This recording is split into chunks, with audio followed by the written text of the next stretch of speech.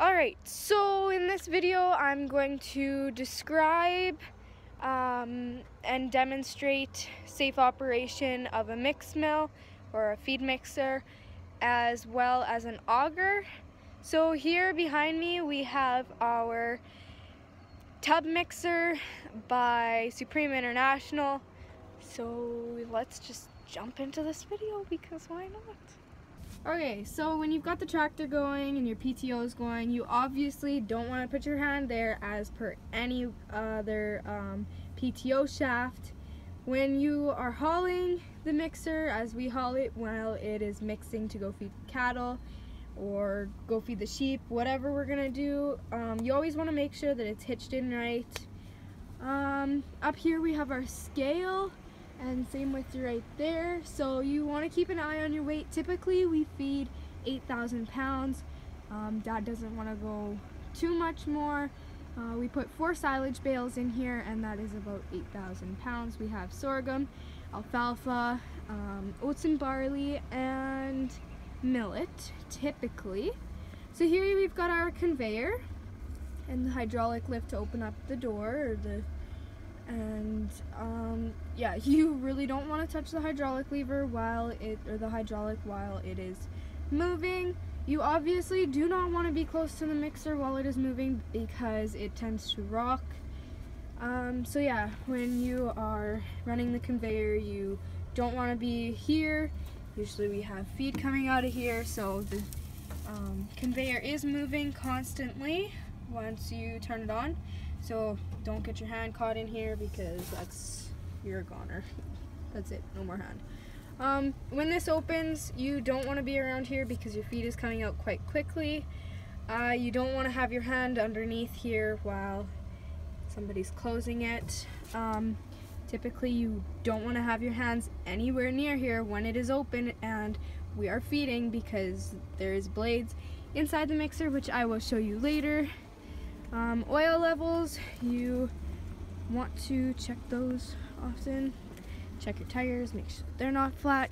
This here is a lever for the blades and the um, feed inside when you are mixing. So basically you push it in and it holds the feed better so that your um, blades can chop the feed up finer. Um, right now we've got it pulled out because we don't need it that fine.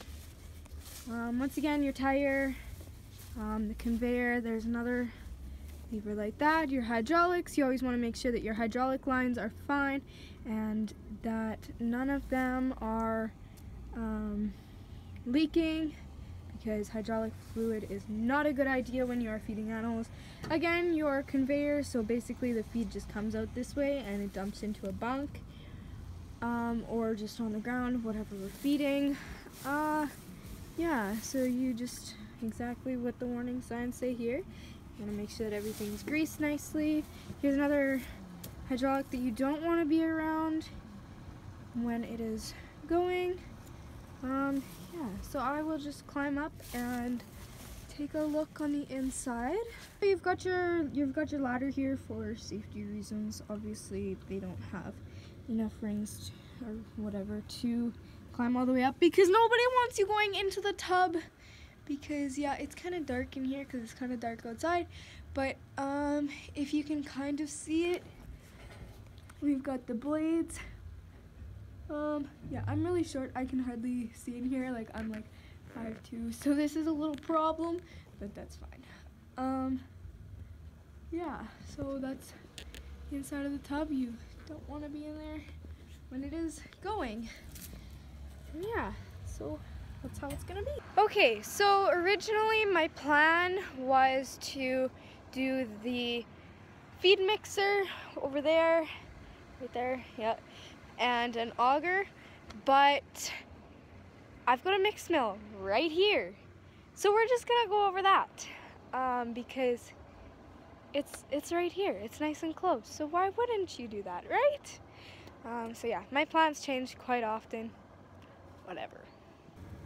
Once again, the obvious, you don't want to have your hand around the PTO. Um, when you do park the mix mill, you want, or whatever we're going to call this, chop, whatever. Um, you want to make sure that your jack is good when you're towing it. You want to make sure that your hitch is in place right. Um, you want to keep your hands away from those gears because and those chains because that's how people lose fingers. So yeah. Um. This is green goes in here, mixes in there, turns into chop. Why not? See, you can kind of see the chop here. Um, I think I have a wood tick crawling on my arm, but that's fine. Once again, you want to check your tires. We've got it blocked back here because when we are mixing or augering out of here, this um, end tends to go down a lot and instead of it hitting the ground, we just put boards there. So yeah, we've got the auger here. So it comes out of here, goes down there, it comes up this little auger here, it dumps into there. Um, yeah, yeah, that's, that's about all. We've got the crank to make it higher. Right now, Dad's kind of got it the height that we can drive the mixer underneath and just dump chop in there and then we mix chop in with our silage bales and yeah. So yeah, you can crank it to whatever height you want lower it that's where the auger sits. Um yep so that's that is our two mixers for feeding. Yep and that is all and there's Pepper. Bye, Pepper! Yeah. Okay, see ya!